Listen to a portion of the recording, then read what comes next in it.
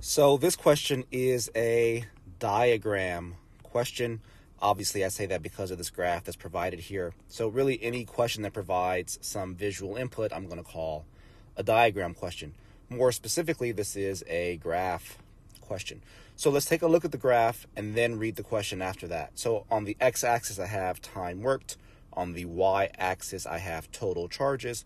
And we can see by the direction of this line here that the more time worked, right, as you go to the right on the x-axis, the more or the higher the total charges go. So the actual question here says the graph represents the total charges in dollars by a contractor for X hours of work. The contractor charges a one time fee. Okay, so that makes sense, right? Because even here, when there is no time worked at the origin, we still have a total charge of whatever that number represents, right? So here, that represents our one time fee. So the contractor charges a one time fee plus an hourly rate, right? So here's where we get our hourly rate from. And what is the best interpretation of the slope of the graph? Well, I kind of drew, let me just erase all this so we can see it again.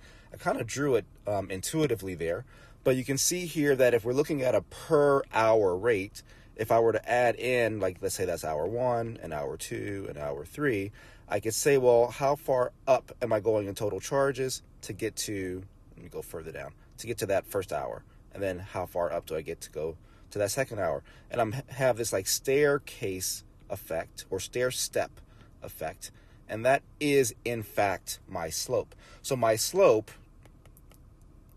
represents the rise over the run of the graph, but that rise over run, right? The y axis again is the total charges divided by the total hours, right? So the slope represents how much money this contractor is charging per, right? Because per means divided by how much money the contractor is charging per hour. So let's find that. So choice A says the contractor's hourly rate.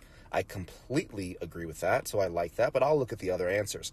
Choice B, the contractor's one time fee, that's not true. The contractor's one time fee is actually going to be the y intercept for reasons that I already mentioned. Choice C, the total amount that the contractor charges, well, that's not true either um, because we don't, there's no way to know that by looking at the graph. The slope doesn't tell us how much, how many hours the contractor works, so we don't know how much he ch- he charges, he or she charges in total. And lastly, the maximum amount the contractor charges, again for the same reasons. C is no good, D is also no good. So choice A is the best answer here.